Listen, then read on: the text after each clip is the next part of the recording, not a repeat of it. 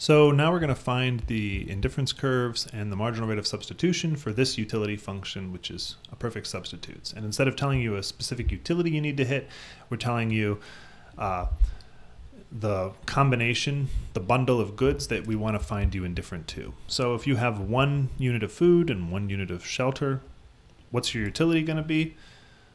Well, we can just plug these values in, one and one, and we get that utility is two. So any other bundle of goods that gives you two utility, you're going to be indifferent to. If you have two and two, well, if we plug two and two in here, we get utility is equal to four. Four is greater than two, so people would prefer to have two of each to one of each. That's consistent with this non-satiation principle that more is better. Okay? Okay. So now that we have these, we need to find the indifference curves. We need to find all combinations of food and shelter that give you two utility. We plug in 2 there, and we just need to find all f and s that satisfy this equation. They add up to 2. What are we going to solve for? Let's have f be on the vertical axis and s be on the horizontal one. So we just need to solve for s. Uh, we subtract f, we need to solve for f. So we subtract s from both sides, and that's our equation for our first indifference curve. If we have zero shelter, we need two food to obtain two utility. And if we have two shelter and zero food, we also have two utility.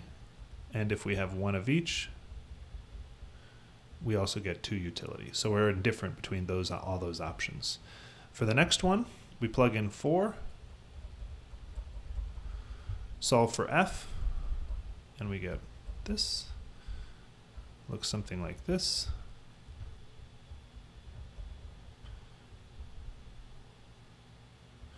And if you have two of each, again, you're on the same indifference curve, you're indifferent. They all, uh, having four food and zero shelter, two of each, or four shelter and zero food, they all give you utility of four. And this one down here gives you utility of two. So we've drawn all our indifference curves. To find the marginal rate of substitution, we've got two approaches. We can take the partial derivative of f and s using one of these indifference curves. So if we did that, the derivative here is pretty obviously negative 1. Or we could use this other approach, that it's the ratio of the marginal utility of shelter divided by the marginal utility of food. And we'd go back up to our original equation up here. The marginal utility of food is 1, because that's the derivative of this function with respect to f.